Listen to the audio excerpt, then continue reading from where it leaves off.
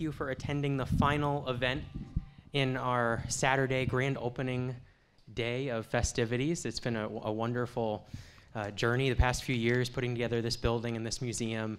And uh, I think the perfect group of individuals is here tonight to speak uh, to the success of our project and uh, the, the purpose of, of why we've done this, and that is to highlight some of the stories that have not gotten the proper attention that they've deserved in the past. That's the story of our community, the story of uh, um, Bill's work, really, which is now featured in our changing exhibit. Uh, and, so many other things that that are just important to the, the story of our community and and uh, the collection that we preserve here, a million plus items right behind me in our archives and, and, research room, which are now safe and protected forever. So thank you all for being part of that by being here tonight.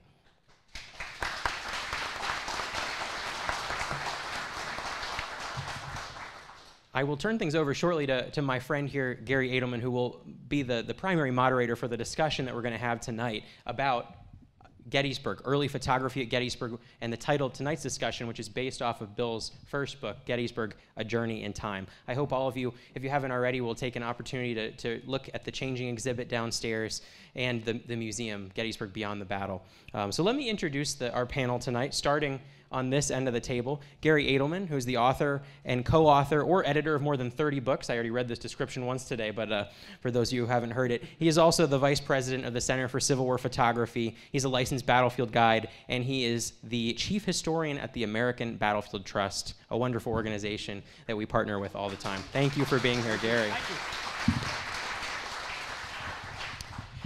And then we have Bill Frassanito, uh, the guest of honor this evening. He is a renowned photographic historian and the author of seven books that transformed our understanding of Gettysburg and the Civil War.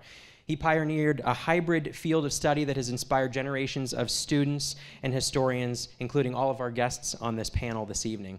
Frassanito's groundbreaking work has won prestigious awards. He's been recognized in national publications and has aided the federal government through his work in restoring key features on the Gettysburg battlefield.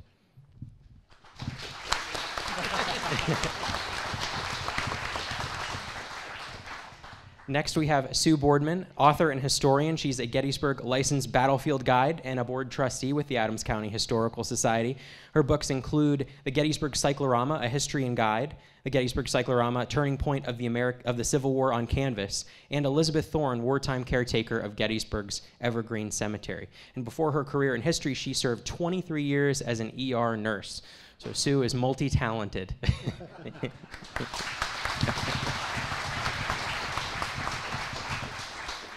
and last but certainly not least, our official Adams County historian at the end of the uh, panel. Uh, he is a longtime, Tim Smith is a longtime battlefield guide at Gettysburg, author of 10 books and several dozen articles about Gettysburg and Adams County history. He is the director of education here at the Adams County Historical Society, and uh, I've already mentioned, but was recently named our official county historian, which is a position only held by one individual in the past, Dr. Charles Glatfelter, our longtime director, whose picture hangs in the room behind me. Uh, it's an, now an honor to call Tim our official county historian. Thank you, Tim.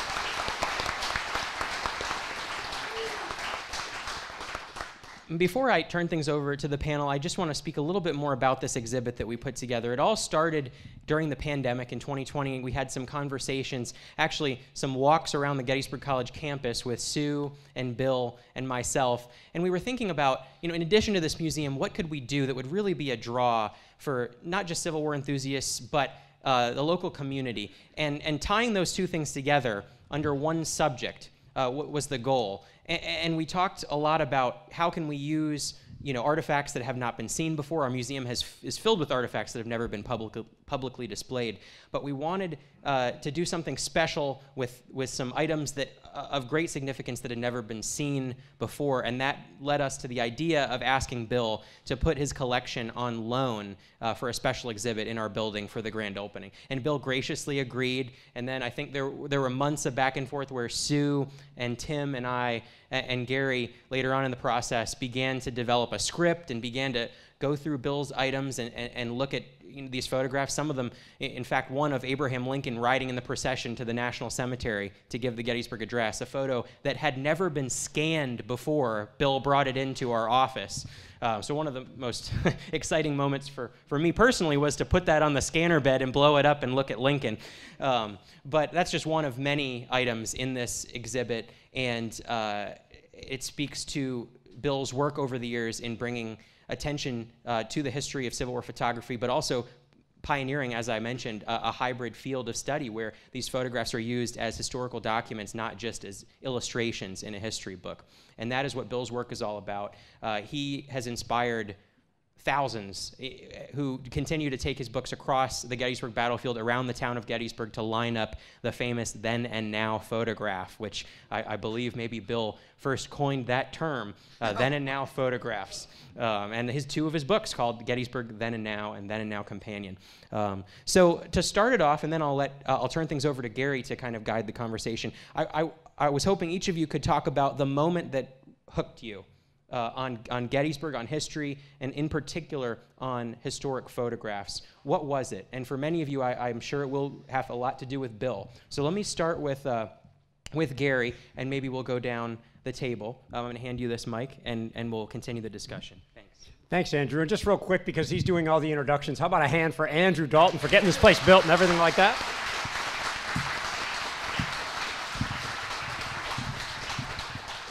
Thanks, everyone. What a pleasure to be here. Uh, this is easy, uh, and I think you might hear this answer from others. Uh, I'm here today, and my whole life changed because of Bill and his work.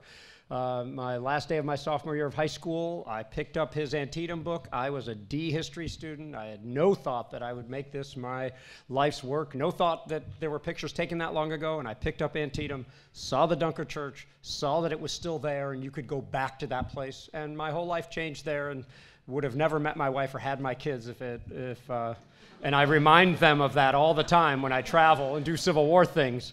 Uh, it's all because of Bill's work. Let's go down to Tim. Well, I, I think that um, I had a huge interest in American history, you know, ever since I can remember. So I know in um, first grade when we went to the library and all the other kids were, you know, looking at uh, um, cartoon books, and I wandered over to the what is it, 900 973 973 section, and I, I was looking at Civil War books. You know, I was always interested in it, and you know, I did read some books about the Battle of Gettysburg uh, when I moved from Baltimore up into um, Carroll County. But then um, at some point, my next door neighbor was a high school teacher, and he had stolen Bill's book from the school library. And uh, he said I should read it, and he lent it to me. So I read a stolen copy of his book early on. And of course, I, w- I was really, really, really into the whole concept of the photojournalism and using the photograph as a document. And, um, and when I was a kid, it, uh, I used to go to flea markets and I'd buy postcards of the battlefield and then I would take the postcard out to the site and line them up. And, you know, it was a lot of fun. What was the book I signed for you when you were 16? Uh, when I was 16, um, that same neighbor, we, uh, my parents had gotten me uh, Antietam, uh, the photographic legacy of America's bloodiest day. And I learned uh, through a friend. It was a battlefield guide. There was a dinner party, and William Frassanito might show up at the dinner, dinner party. So I, uh, you know, kind of got invited to the dinner party, and I, you know, went there. It was in Hershey, and uh, Bill did show up, and Bill signed my book for me, and so we met. Antietam book. Yeah, the Antietam book. And then I'll never forget my neighbor who drove me to this event. Um, he showed you the, you know, he wanted you to sign his Gettysburg book, and you were like, the cover page is missing. I'll bet you this is stolen from a library. We're gonna, uh, thanks. Just, just so, before we move on to Sue and then, of course, to Bill, just so you know what type of person you're dealing with here. This is someone who has confessed that he would write book reports on his own in fifth grade, like not assigned by the school. So uh, uh, you should be disturbed by this. Uh, Who are you talking about? Tim. Oh. Sorry, if it's not clear, I meant Tim. And we'll work up in a crescendo here. So, Sue, then we'll go to Bill. Okay. So I, like Garry, did not like history. Um, to me, dead men and dates weren't that interesting. So um, it wasn't until I actually acquired a diary that was written by a Civil War veteran from my home area. And that really, really kind of, it just tickled my interest not only in history, but specifically in, in the Civil War. And the closest battlefield I could reach at the time was Gettysburg. So, me not being a, a real good directional person, I am so directionally challenged, it isn't even funny. I mean, I can't get out of a dentist office, and I've been there 20 times. So, yeah, I know I'm a guide, just don't even connect the two. just forget I said that, okay? But anyway, so I really, really, really wanted to come to Gettysburg, but I really, really didn't know my way around, and so enter Bill's book because I'm so visual. And so the way I learned this battlefield was to take that book out and re-find everything he already found. Thanks, Bill. Made it a lot easier. But anyway, um, so that was my that was my introduction to Gettysburg, and it never stopped. So I'm a guide because of that book. There's, it's a direct link. There's no way around it. All right, Bill, I guess you can't say it was because of Bill. I guess you can. so, what's, what's your way in? Well, in 2010, I gave a two hour and 45 minute talk for the Center for Civil War Photography, detailing the whole story of how I got interested in military history, the Civil War, the photographs, and this detective story, and all the way through Vietnam, surviving that, and having my first book published. And uh, there's over a hundred slides. Uh, there's six parts, and for those of you that are not familiar with it, uh, just Google. It's not on YouTube, but Google Frassanito image part one, and that'll take you to the first part. Each part has me speaking behind the lectern. You scroll down the slides, and then there's me behind the lectern, and then you lectern, and you scroll down. But anyway, this gets into my story, and um, I've, I've always been fascinated by time and the passage of time and how it's all connected by dates. But I trace my interest in this whole story to the fact that I am the definition of the term baby boomer. And if you're not familiar with the term, I'm sure you have a lot of boomers here. The war ended in 1945. Millions of servicemen came home. They had been away from home for a, a long time. And the babies started arriving in 46. Well, it turns out my father um, was uh, aboard a submarine tender and served in the Pacific for 15 months, got home from the Pacific in December of 1945, rejoined his wife and toddler son, and I arrived exactly nine months later, so I was literally part of the victory celebration. and my mother told me that we were originally called victory babies. They didn't know that boom was going to go on and on and on. But um, I was always fascinated by the fact that my pop was in the war, he was in the Navy. So uh, by the time of my fourth birthday, I desperately wanted a sailor suit. And the first slide of me in this massive program that I gave is little Bill Frassanito standing on his front steps wearing his sailor suit. And another piece of neat trivia about being a baby boomer born in September of 1946 one month before I was born, in August of 46, President Bill Clinton was born. One month before he was born, in July of 46, President George W. Bush was born. And one month before he was born, in June of 46, President Donald Trump was born. So most people don't realize that three presidents were born a month apart. And even though I'm fourth on the list, I've already made my decision not to run. So. But anyway, so um, in 1952, I grew up on Long Island, Nassau County. And in 1952, um, we got our first television set. And one of the very first ever aired TV documentaries was called Victory at Sea. And I was fascinated by that. And um, that got me further into World War II. Then, 1955, the Davy Crockett craze swept, and all of us boomers were just totally enamored with Davy Crockett. So that whole thing with the Battle of the Alamo took me back to the 19th century. And uh, in 1955, um, in September, I had just started the fourth grade, and we used to get Life magazine. And uh, the September 12th issue featured an article on the Civil War, and that fascinated me and sparked my interest in the war. And there was this wonderful map showing little soldiers traveling around to the different battlefields, and that's probably the first time I ever saw words like Gettysburg and Antietam. And uh, the next, okay, that was in September of 55. The next April, for Easter vacation, I had relatives that lived in Catonsville, Maryland, outside of Baltimore, and we used to visit them every Easter. And it turns out my Uncle Bob was a Civil War buff, and when he found out his little nine year old nephew was getting interested in the war, he said, Well, you know, Gettysburg isn't very far from here. Would you like to visit the battlefield? And I just, that's just, um, uh, so we went there, and it blew my mind. Little Round Top Devil's Den, and then it just, it just captivated me. And um, then following September 1956, my mother took me into um, the Scribner bookstore in New York City. Ironically, they would become my first publisher, but I, for my birthday, I bought my very first book illustrated with Civil War photographs. It was called Divided We Fought. And it's the first time I ever saw these dramatic photos of Dead of the 24th Michigan at McPherson's Woods and Dead of the 1st Minnesota.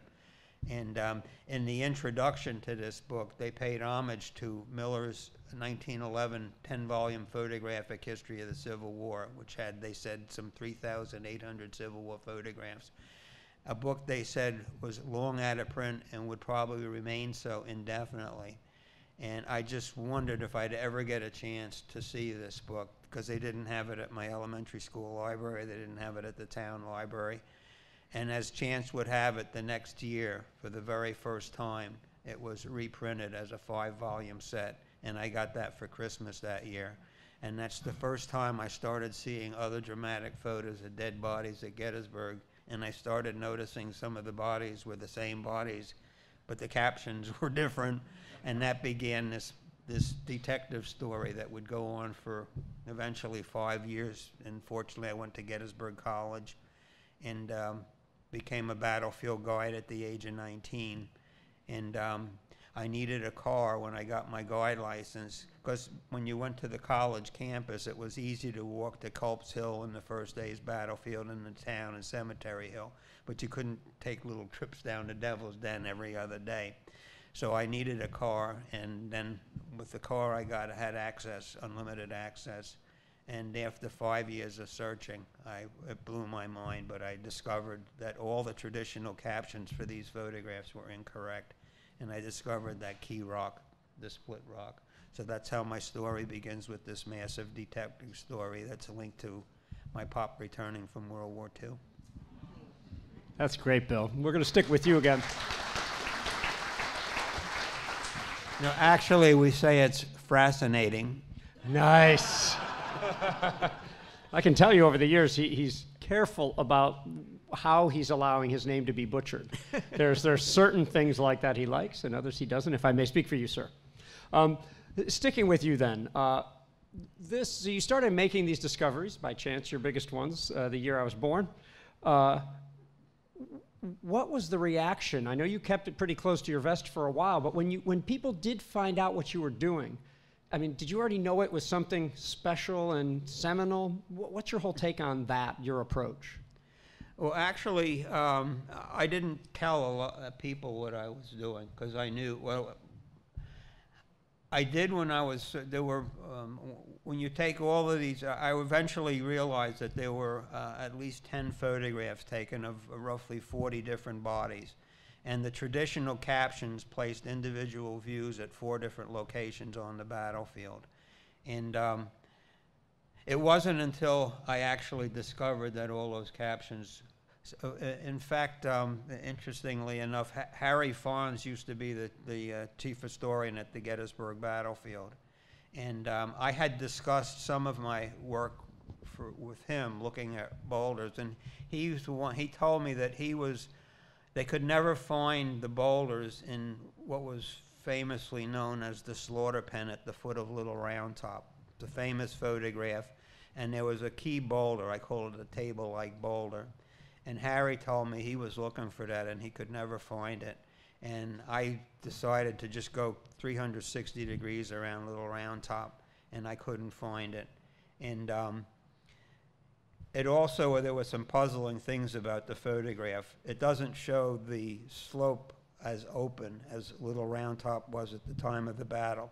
but anyway, to make a long story short, on March, oh, no, on February 1st, 1967, when I was looking for another photograph, I discovered it in the slaughter pen. And just to gather my perspective, I just glanced around, and deep in the woods at the base of Big Round Top was that boulder that nobody could find.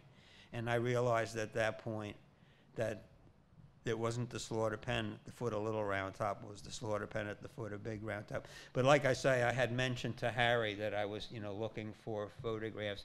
But I never, once I made the discovery, I, I knew that I had a book there, and I knew that this, I, I couldn't let this information become general knowledge years before the book came out. And um, fortunately, uh, oh no, I did work it into a master's thesis. And, uh, but again, I left out the key discoveries, and I wanted to save that. And then I had to serve two years in the Army and wound up in Vietnam. And had I not survived Vietnam, it's quite likely that those photographs would still be miscaptioned as dead of the 24th Michigan, dead of the 1st Minnesota. So there were people that knew just generally that I was interested in looking for the photographs, but they, they never knew the specifics. Right. So I'm not a linear moderator, so we're going to go all over the map here, and I'm going to ask each of you uh, this question. We'll start with Tim. You know, is there a pet peeve in the world of Civil War photography that just drives you crazy? Something you could wave a magic wand and fix? He's probably got 50 saved up, so I knew I could ask him first. Yeah, pet peeves. Well, my pet peeve is people who think they find the site of a historical photograph and are way off. That's obviously, uh, I mean, sometimes I, I'm excited for the person because they're going through the process, and I think the process is very important of taking a historical image and trying to locate and identify when and where that image was taken. But um, uh, sometimes people are too easily convinced that they're right about uh, when they make a major discovery. That's all. I feel the need to comment on that before he hands it over to Sue, just because, man, does that drive me crazy. That wasn't even what I was going to say, but people who follow this type of work would know that there's no more careful historian I've ever met than Bill. And when he says in his book, there can be no question, that's a quote, there can be no question. There really is no question. That's a good thing about photographic research. We should be able to nail it right down. And people, instead of trying to prove themselves wrong, are trying to convince themselves that they are right. And it drives us all nuts. And uh, social media has made it worse. I'll stop there. Sue?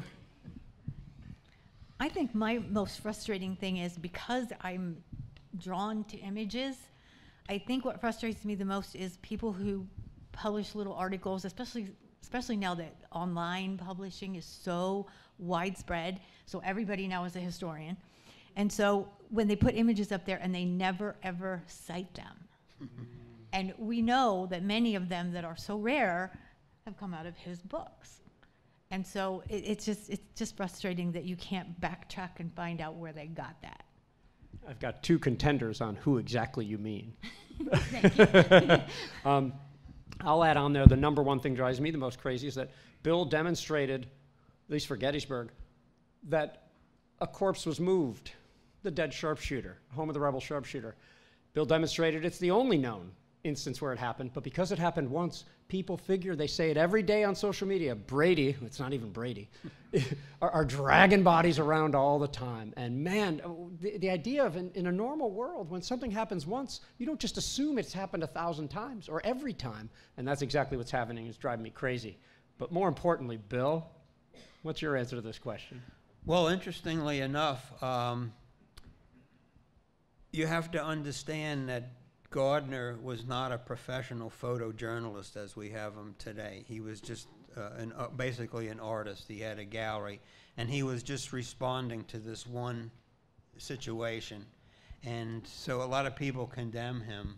And I'm just so thankful that he got here when he did and took the photographs that he did. And again, it's the only time during the war that a, an actual body was moved was moved to take, take a better photograph. But you have to put it in perspective of who he was, what he was doing here, and not judge it by modern standards of photojournalism. So I'm just very thankful that he got here and took the photos that he did. You make that point in your book that it might seem like a series taken in, in later after the battle, a little bit post-war, by Peter Weaver, that they're just nature scenes. but he invariably captured parts of the battlefield that nobody else did. Um, sticking with you, Bill, uh, you know why why the ACHS? Why did you uh, why did you suddenly? Because I've been wanting to see your collection for a long time, and I've seen little drips and drabs. Why why do this exhibit here? Why did you agree to it? Because they asked me for it. now I, I have to say that I, I when I got involved with the historical society when I was at college, Charlie Glatfelter was the executive director and uh, I spent a lot of time here. And um, I have long ago decided that my entire collections are going to be donated to the Adams County Historical Society. So.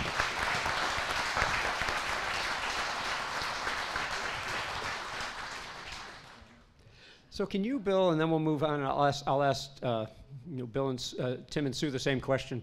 Why?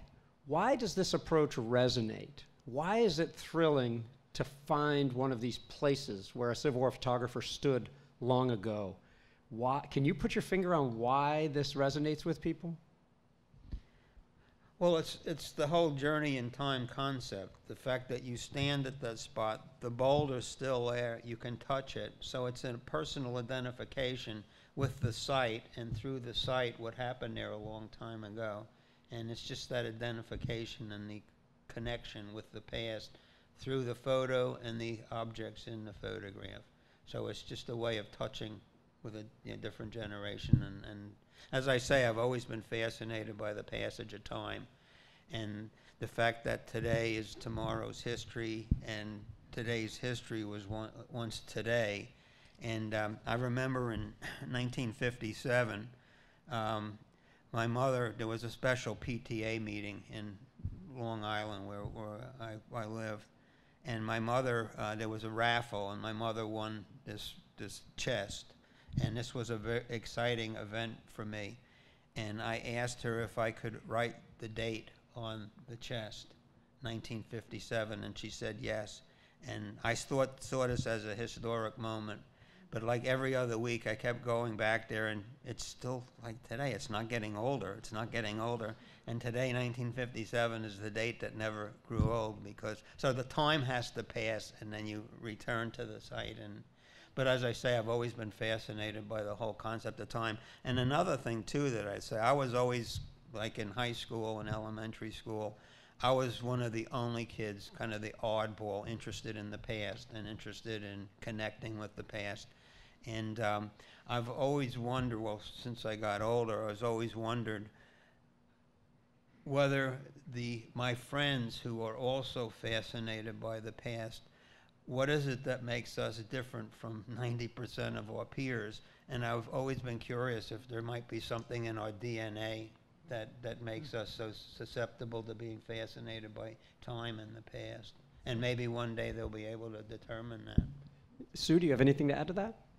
No, I think he pretty much covered it, but I, I think it's, we're social people, and I think it, that rock may connect us to a place, but that place connects us to people. And I think it's, it's the reality of communing with people we can't otherwise commune with. Why do people go to the Holy Land? Why do people go to these historic destinations over and over and over? It's not to see things, it's to connect with events that actually connected us to other people. Great. Tim? Um, well, I want to mention a couple things. One of them is rocks. I like rocks. so, and I thought about this, you know, I probably thought about this more than a lot of people have thought about it. But um, the reason it, it interests me when I've discovered a photograph and I realize that I'm the first person to stand in the place where that cameraman took that photograph since the photographer, and you know, since obviously the photographer knew where he took the photograph, but since him, uh, you know, um, we're the first ones sometimes to discover these sites. And for me, I'm always excited when there's rocks in the photograph. And if you think about it, what is on the battlefield today that was there at the time of the battle? There's a few houses that are there. You know, there's, I don't know, six witness trees. Um, there's, you know, so there's trees, but the rocks. The rock was there during the battle. A soldier touched that rock. You know, blood spurted onto that rock. You know, it was there. And so I see the rock in the photograph, and I find that photograph that shows that rock, and it means a lot to me. The rock. I don't. I, I have no idea why. And then I just want to mention that why when you're a. I think when you're a kid and something impacts you, then you know it seems to resonate with you throughout throughout your life. A lot of people want to return to things or do things that they did when they were younger or when they were children. And for me, the passage of time has a lot to do with dark shadows. You know how they were going back to 1897 and there was parallel time and they went into the 1840s. Tim thinks that most people have seen his favorite show. This is a television program with a lot of episodes. Yeah, the, so, the, the, the, soap, the afternoon soap opera from the 1960s uh, uh, and 70s. Um, I, I want to add too, because Bill said it just like I would have, or I said it because Bill did. The idea of passage of time over a place. I don't know why. As even as I was a, a failing history kid, I can remember being eight and seeing a picture from when I was four and wondering where it was taken and having the desire to go back to that place and take the picture again. Like even before I knew it was a field, you, you know, this would have been right about when Journey came out. Uh, I, I, it was in me. So maybe it is a DNA thing, Bill. Um, let, us talk about some of the discoveries. You talked about the slaughter pen, but we really haven't, you know, really hit in on, you know, the Rose Farm. But I would like it if all of us, starting with Bill, could talk about these discoveries. Which which are the most important to you, and how did it feel, and, and why? Well, of course, as um, as I say, the uh, what what happened was um, was let's see, 19, it was early, uh, we had Christmas break and day term break. And I had a, uh, a, a, photo from, was the 1870s that, that um, I had been looking for this one photograph um, uh, that turned out, this led to the slaughter pen discovery. And um, I had, as I say, I just had discovered this this 1863 site, not from the 1863 photo, but from a post-war photo that showed a broader expanse.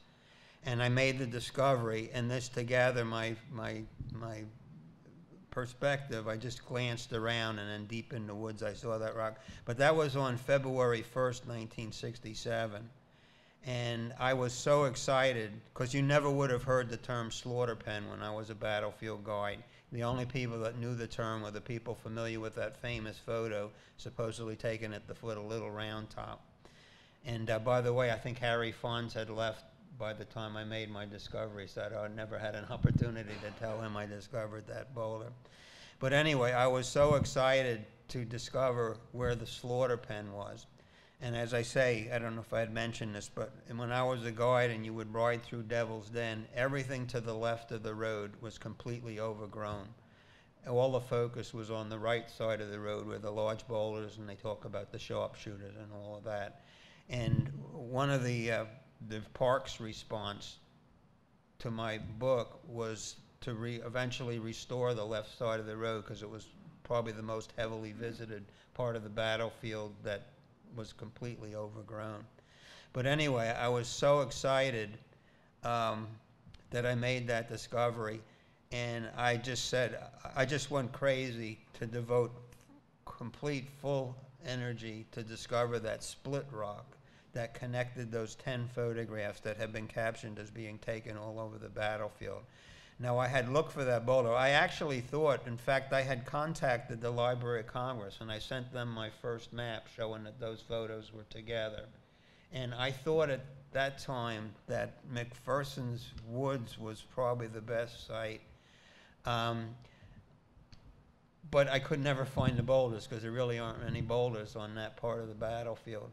So I had been looking for the boulders. I couldn't find them at any of the four sites that, that had been mentioned in the traditional captions. And what I decided to do was a completely new approach. The photographers had made this unparalleled, almost 360 degree panorama of a portion of the battlefield, which had a dense woods behind the camera, or depending on what look direction. And then out in the fields were just open fields and a distant ridge. And I knew that even though the boulders might have been destroyed when they were putting in the avenues, the ridge is going to still be there. So in um, March of 19, or probably late April and March of 1967, I decided to do a completely new approach. And I went to all the ridges on the battlefield and made hypothetical angles and then did a 180 degree switch and then walked. And on March 10th, what I was doing, I was work, working with Warfield Ridge, and I made a hypothetical angle, and um, did a 180 and started walking, went through the woods, and I said, "Oh my God!" And by the way, if, if I, I, I mentioned this, I think in my talk, I had discovered that split rock my first year of guiding in 1966. Rarely did the guides go on Brook Avenue. And uh, I took a trip on Brook Avenue, took a, a, group on Brook Avenue, and out of the left in the car, I saw in the woods this split rock, and I, I, that looked very familiar to the rock I was looking for. And by the way, that, that photograph of that rock had never been published. There's one version, but it, you can't see the rock very clearly.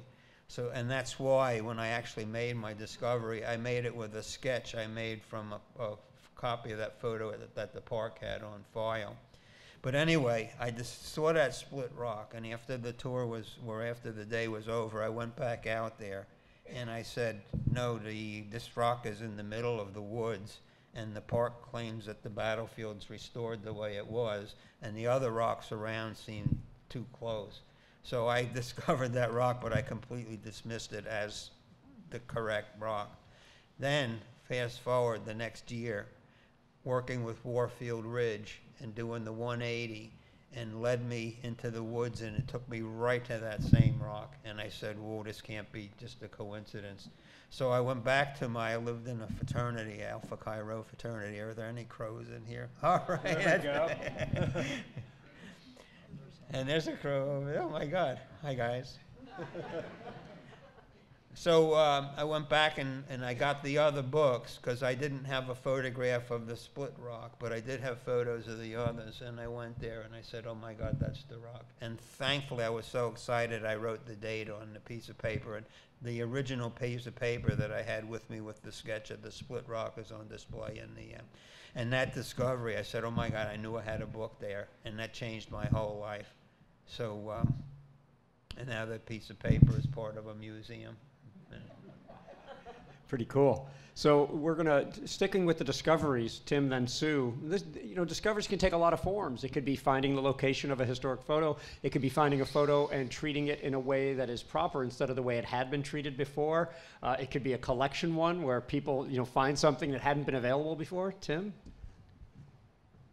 you knew I was going to ask you. a discovery you made that you were happy with. Um, are we talking about the Elliott map? We can talk about anything. Okay. I, I, they, okay. We didn't rehearse Yeah, I, these. I think everybody. that um, the process of uh, locating photographs, and I, you know, one thing that I think is interesting about that of finding a historical photograph, and you can just listen to Bill's stories, is it's not something that happens in like 10 minutes. So time and time and time again, when we were just talking about, you know, one of our pet peeves is where people find the location of a photograph that no one else knows. They come to Gettysburg for the first time, they open up a book, and boom, they found a historic site. It just doesn't work that way. I guess it could, but uh, a lot of times there's a lot of research behind the scenes that leads you to uh, find something. And sometimes you find things you're not expecting to find. Um, uh, in the case of the Elliott burial map, the story was that um, Andrew Dalton, the director here of the Adams County Historical Society, was writing an article about um, a guy named S.G. Elliott and a map that he had drawn of the Gettysburg battlefield after the battle that showed dead on the battlefield. And uh, there were two different versions of the map. Um, we don't, even though it seemed like one was published in Philadelphia and one in New York, uh, it didn't seem like that there were more than three or four known copies of the map. So I decided to search some different repositories, and there's lots of online catalogs. You can't just Google something and it comes up, but you can go to a, a public repository like the Philadelphia Free Library or the New York Public Library, and you can get onto their search engines and search for stuff in their collections. And so, what I was trying to do was to um, find, uh, I was trying to find something to help verify which copy of the Elliott burial map from Gettysburg was the one that was published and if it was ever published and where copies existed. Simple thing. And I went to the New York Public Library, put in Elliott's name, and a map popped up and it allowed me to download it. And I chose the New York Public Library because they're one of the places that had recently digitized their map collection. So just because of the field I'm in, I knew that they had a digitized map collection of, you know, thousands and thousands of maps. So it came up, I downloaded the map, and when it came up, you know, it didn't look like Gettysburg. I saw the Hagerstown Road and I was moving it around. I didn't understand where we were. And then I realized it was the Antietam battlefield. Now, the discovery, then, like Garry's talking about, I know a lot about Antietam, and I knew immediately that no one had ever seen that map before that was educated about the Battle of Antietam. Other people had seen that map. The people had digitized that map, had seen that map for the New York, the New York, it was in the collection of the New York Public Library. Obviously, they knew they had it, but none of those people knew how rare this map was.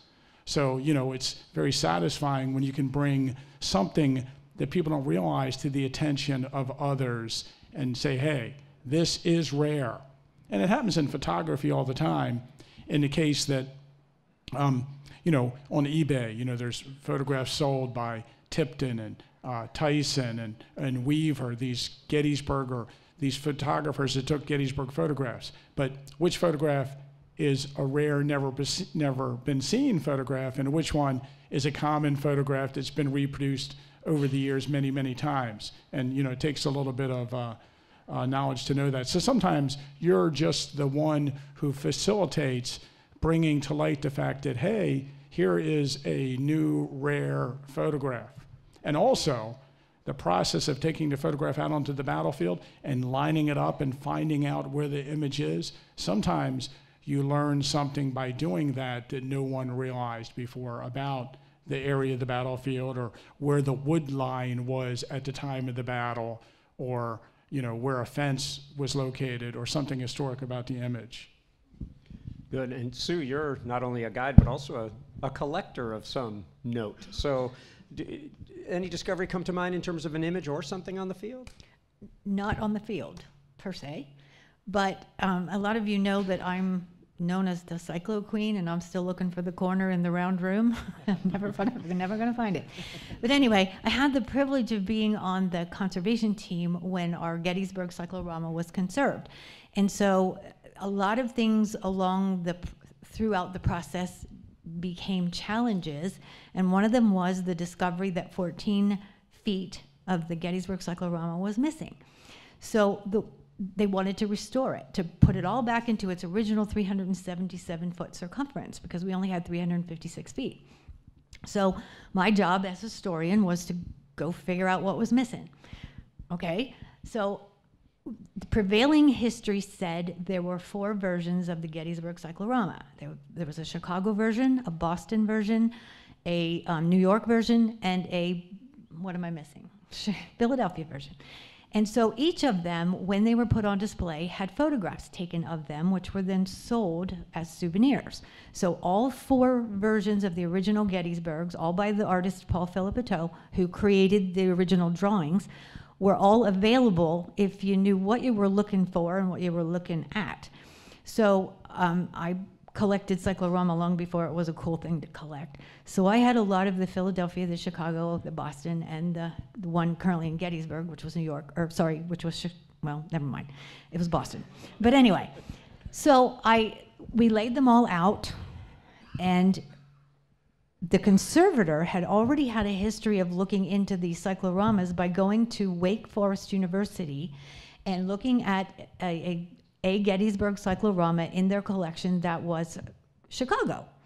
So they were, in fact, what they had done originally was go to this, go to that version of it, photograph the whole thing. They had it rolled out along a football field, photograph the whole thing, and they were comparing the version Gettysburg had and that version to see which one was more able to be brought back 100%.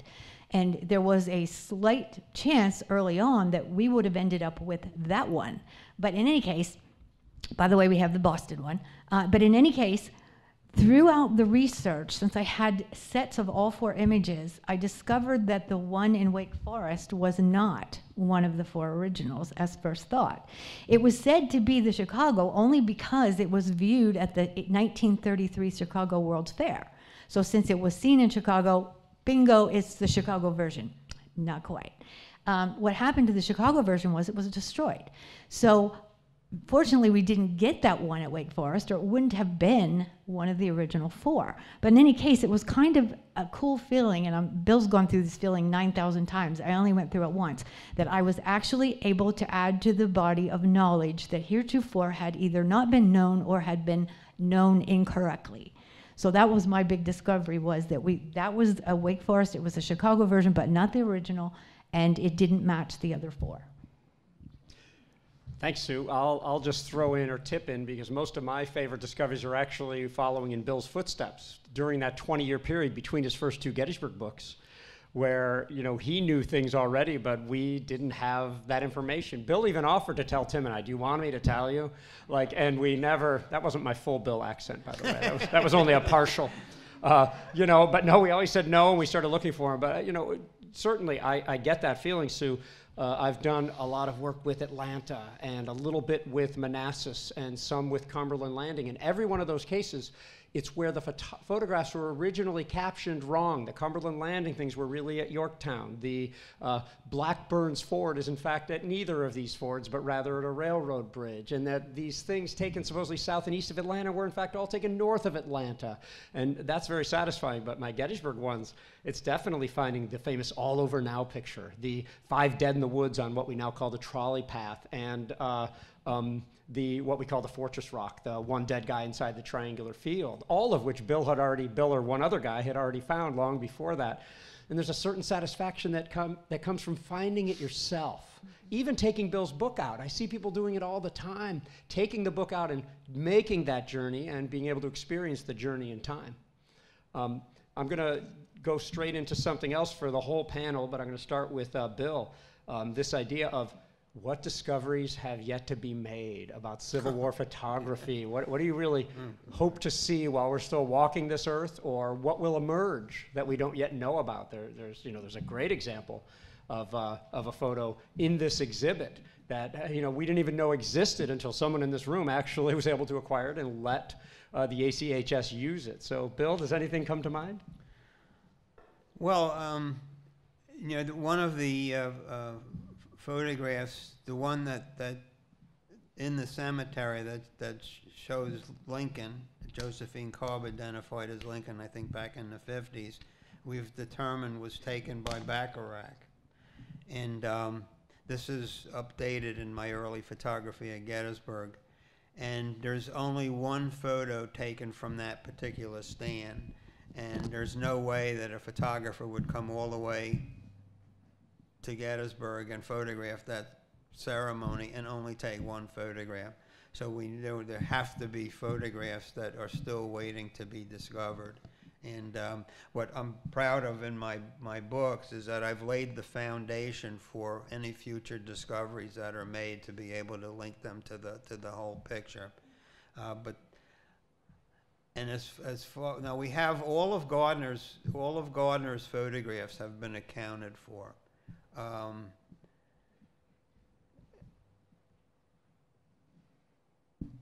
I can't really think of uh, anything that were. Now the um,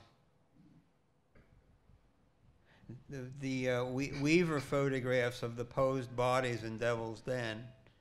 Um, nine have surfaced now, and it's conceivable that others will surface. And by the way, my, my one of my most dis- proudest connections with with um, how many here have read my early photography at Gettysburg?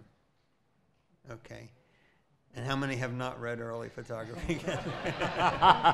okay, well, I was going to tell the story of Jacob Schenkel, and I don't have, I guess, have to repeat that again.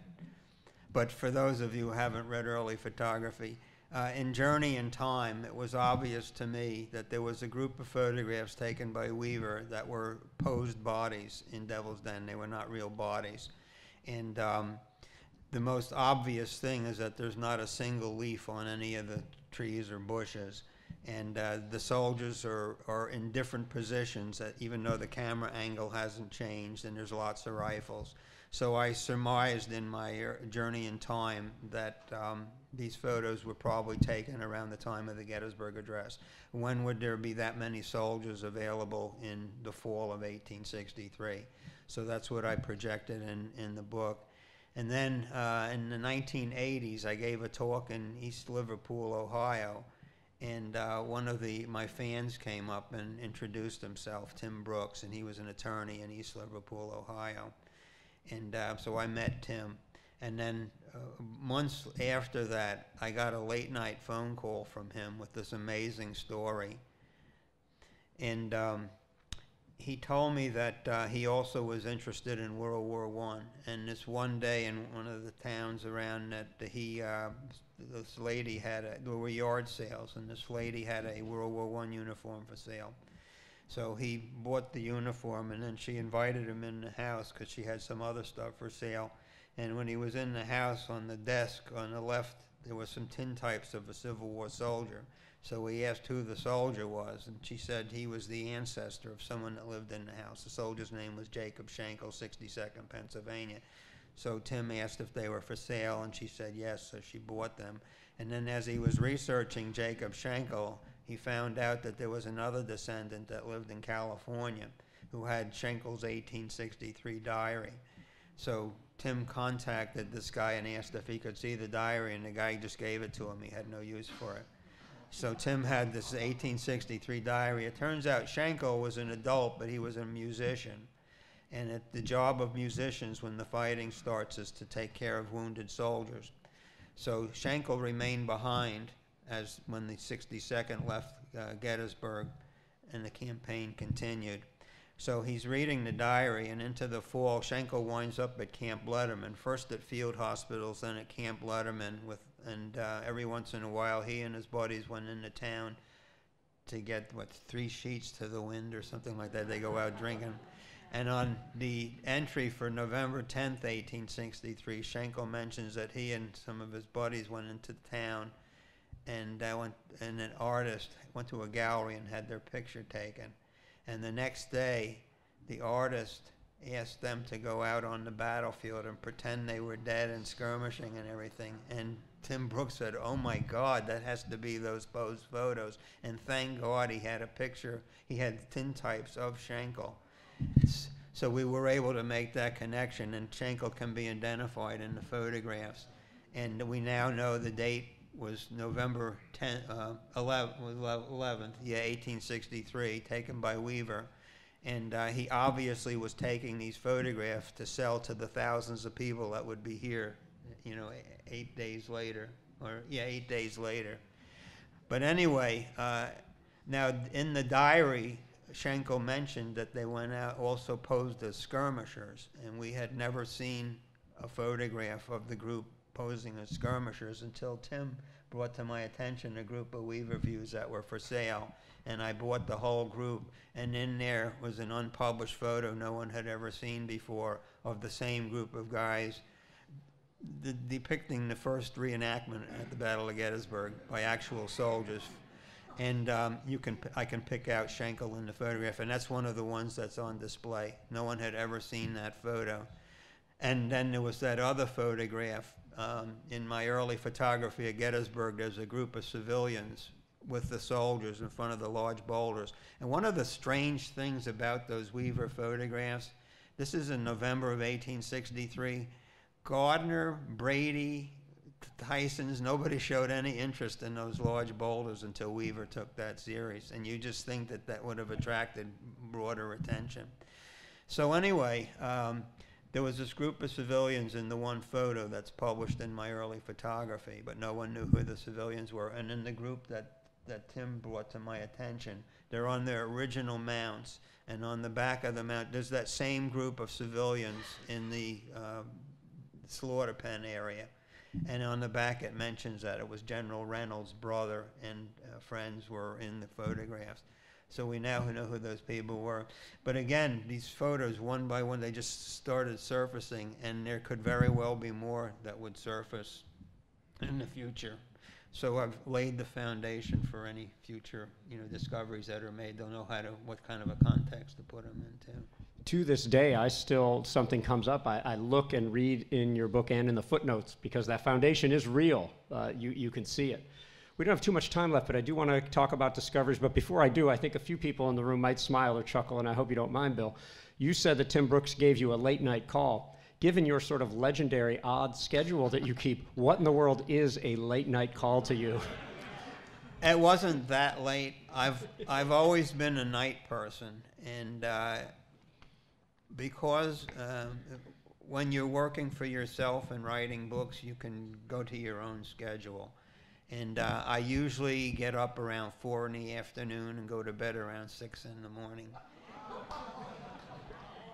So I have, and that's that's how I, you know. so Tim called it breakfast. Now, when I with, with Tim, yeah, I'd have to go back to my. It was just an e- evening phone call. Let's put it that way. All right. Yeah, yeah.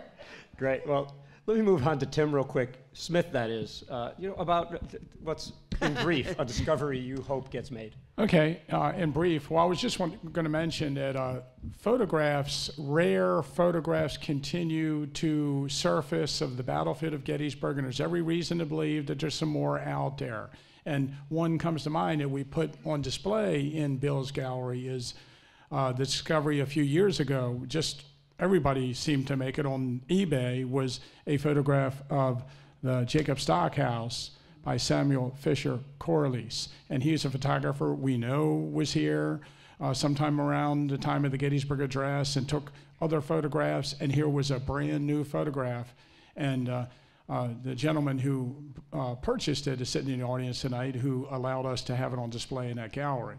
So, um, you know, I, I'm just always amazed when a new photograph of something dramatic appears. And we know that there are photographs taken by the, um, the Weavers, the stereo series in 1867, and we don't have all of them. So we know there's more out there. We know that Charles Hymes recorded a series of 20 some images on the battlefield at least, and we've seen like four of them. So we know are, they exist. Uh, are they out there somewhere in some private collection and they'll, they'll appear? That would be great. My dream, of course, and I don't know if you know what I'm going to say, Garry, is we know almost nothing about Alexander Gardner's itinerary from him about the Antietam and Gettysburg photographs. We look at these photographs and you know people surmise which direction he went, which photographs he took, and where he went. I want to see an Alexander Gardner diary telling me what day he took the photographs and telling me his path on the battlefield. Wow. I mean, like you would say it, wow. All right, Sue. Well, I have a series of early Weaver photo stereo views. Now they he, they and you know a lot more about these. The Gem series came out uh, 68, 60, 67, 8. Okay. Some of the ones I acquired from a grouping out of Philadelphia were, I had never seen the majority of them. There, I think I had 30 of them. And what's interesting about them is they, they, all the notations on them were all in handwritten. They weren't for public consumption. They all had Rufus Weaver's, you know, from the collection of. So they were may very well have only been one of a kinders or two of a kinders. And as as you all have alluded, since we don't have a catalog saying there was number one through 57, we have no idea what's out there. And the only reason they came out at the time were they were out of, of the Weaver's estate. Some descendant had let them go. So as far as I'm concerned, weavers are the little gems that I would like to see come up because I'm getting real good at picking them out. There's not a whole lot of markings on the on the cards, but after a while, I think you can allude that there you get to know the photographer's style after a while. So that's what I'd like to see is a whole lot more weavers come out because they're so early, and they went to places other people didn't tend to go. Well, thank you. I, uh, as the moderator, I get to say all these things, whatever I want now. So, uh, in terms of discoveries, I mean, outside of the John Wilkes Booth autopsy, we know it was taken. We, we think that the print and the plate were destroyed, but we just don't know. I have some hope, in a morbid sense, that that will appear one day. Of course, I hope somebody finds the harvest of death conclusively. Uh, that is the five negatives of two different photos you know, or two different directions of a group of uh, dead on the battlefield. But that that Harvest of Death one is only one of the 10 different sets of photos and drawings in a binder I made 12 years ago that said, entitled, I've never told anybody this, Photos I'll Find This Year. and, and I haven't found one of them. they're Alfred Waud's, they're Brady's, they're Gardner's, they're, they're you know, later 1860s ones. So I just hope somebody uh, is able to discover a whole lot of these photos. Now, we're going to end with one last one before we bring up uh, Andrew and that. I'm going to start with Bill, then go to Tim and Sue. Uh, do people, I know you're not a movie star, Bill, but you might be called a rock star. Do people quote your writing back to you? And then I'm going to ask Tim and Sue if they have any lines that they would like to say from Journey in Time or otherwise. Do people, do people seem to remember what you wrote better than you do? In actual quotes, Yes. That, yeah, that's what level we're at now. I think you're going to hit me with something. oh, right oh. I'm ready to. Well, we, Yeah, Tim and I could do it all day. No, I don't hear people quoting me, you know, off the top of their head. All right, well, well, is there a, is there a line from any of your books that really stands out? Uh, you know, uh, that war is the greatest of obscenities, or that the I'd have, mem- to, I'd have to go over my books again. All right. Well, Tim, save me here, man. What comes to mind? Uh, one thing, um, he, he was describing a, a rock on the Rose Farm, and the rock uh, was still there, but it was upside down in the earth. And he mentioned that it's heavier than it looks, maybe indicating that he tried to pick it up at some point. but um, Garry and I would often uh, go out with Fraz on our, um, ex- you know, on our dinner excursions or at the Reliance Mine Saloon, and we talked to him about things. And we'd often would not just that one, but we'd quote back to him things in his books, and he would know it. Like, uh, Garry, could you hand me that glass? It's heavier than it looks. Yes, we did. and I always got a big kick of that. But um, um, uh, you know, the the quote of the uh, uh, soldier that you were just talking about finding, you probably do it better than me. Of the um, the dead soldier in the slaughter pen. That's one that we continuously quote. Uh, well, just for the good of the audience, uh, uh, what is it? A bloated and drenched by recent showers and emitting odors of the most offensive nature, this poor soul had been lying motionless in death for nearly four days when his distorted form attracted the attention of Alexander Gardner. And, and it's, this is how, I mean, it's kind of clunky, you know, the way that Tim would say, you know, we'd say, oh, that rock looks like that rock is heavier than it looks. Um, you know, we would actually name the rock based on what Bill used to say. But I, I just want to say in front of you, Bill, because I don't think you know it, my favorite happens to be uh, when you're talking about what, what people now regularly call the Forbes boulder, uncovered um, on Culp's Hill with some of the woods clearing. I always called it the Confederate sharpshooter rock. This is that large boulder down the hill a little bit. And Bill was talking about that one rock and another boulder up the hill. And he said that the scenes those boulders witnessed that warm summer evening were forever locked within. And that idea of witness trees, witness boulders, or in terms of Civil War photography, witness glass. You know, that, that witness that saw the events. Of course, I tell people this, and I'm regularly told that trees don't have eyes or ears, and that boulders don't have eyes or ears. I know this, but Tim, it looks like you want to say something else. If not, hand it to Sue. One more thing I'll, I'll say. I got to tell this story. I, I wrote this story down at the beginning when we got here, and um, Bill, I'm sure, is going to hate this story. Um, but, you know, talking about people who uh, take Bill's stories and they have to build on them. And of course, we're licensed battlefield guides. You know, we tell stories about the battle. And uh, some of the guides go more into stories than others.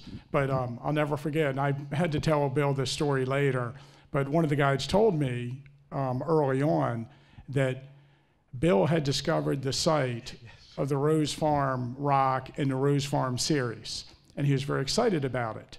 But then, of course, he had to serve in Vietnam.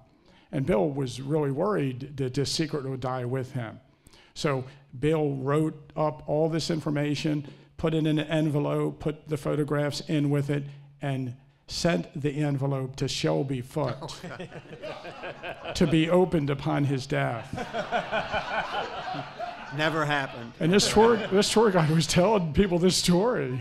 Who, who tells that? Oh, I can't, I don't want to say. But I think his, his initials were VN, if I'm correct. Yeah? Sue, anything to add to this?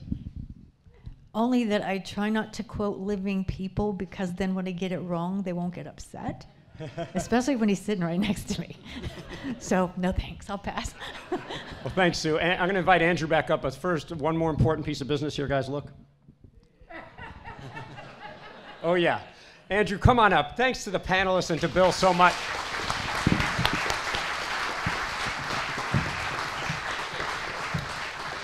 Just want to add, once again, it was just such a pleasure to share this very historic day with all of you for the Adams County Historical Society, but for Gettysburg and for Civil War history more broadly and American history. So thank you to our wonderful panel. Thank you for being here today. We'll see some of you tomorrow for the next part of our series. And uh, thanks for supporting the Historical Society. It means a lot to all of us.